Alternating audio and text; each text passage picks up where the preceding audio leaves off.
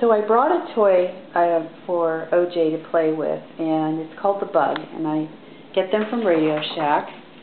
And it's just this little motorized caterpillar-looking thing that has a switch on the bottom of it. And it mainly just goes around in circles, but when it hits the wall, it will change direction. Um, I just wish they had some other adjustment on it so you can, you know, make it do, like, it would be awesome if you could program it for it to do different things. Like, I don't know, just stop and then go again.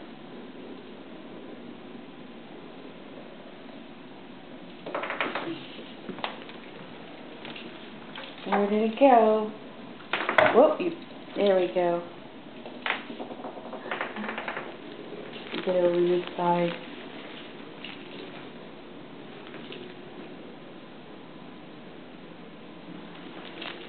You just got to watch that it doesn't go underneath stuff. This dining room is perfect.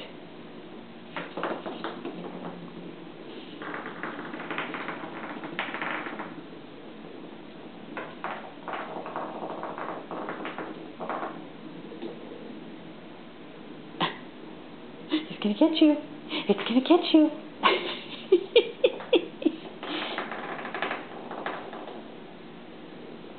oh, oh. Here,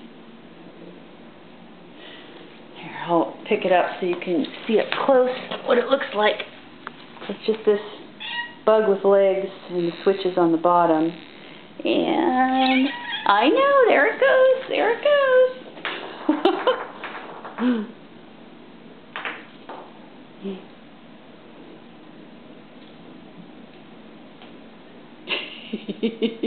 oh, wow.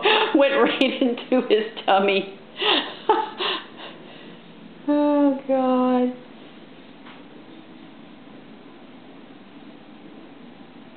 Oh, we don't want it to go in the kitchen, though. Keep it in the dining room. Oh, it's close. Oh, no. it can go in the under the refrigerator. There we go.